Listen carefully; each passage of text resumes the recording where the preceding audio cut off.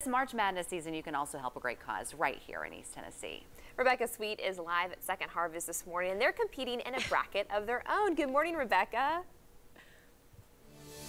March Madness, March Madness, March Madness. Let's say it three times over and over. I didn't even realize I said it wrong. Happy Thursday, everyone. Get your extra cup of coffee this morning. But guess what? We're talking about not only a way that you can have fun with March Madness, but also a way that you can give back to the Second Harvest Food Bank. And it's all run through Food Lion. And you're probably thinking, wait a minute, how do these two go hand in hand?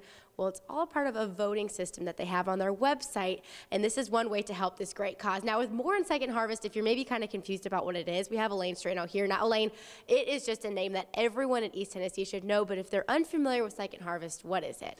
Well, it's a distribution center. We have 500 partners in 18 counties, and we provide food to our neighbors. We have eight different feeding programs. They all feel and look different, but we're providing 1.1 million meals a month in our 18 county service area through our partners. Yeah, and so speaking of partners, with Food Lion doing this a big kind of March Madness, uh, you know, kind of bracket that they're doing, there's a voting system on there, and if you guys win, I mean, that's that's going to help out with a lot of with a lot of food, right? Right. Well, right now we're planning on our summer feeding programs for our Food for Kids weekend backpack feeding program. So this will help us a lot. It's great. To, Food Lion is one of the many grocery industries that support us. I love the March Madness feel. It's Yeah. great. We're all excited about the game tomorrow.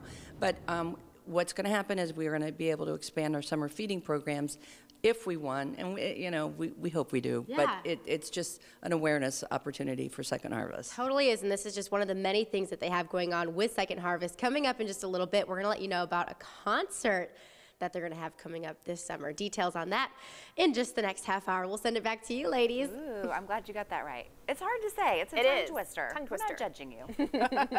Rebecca, thank you.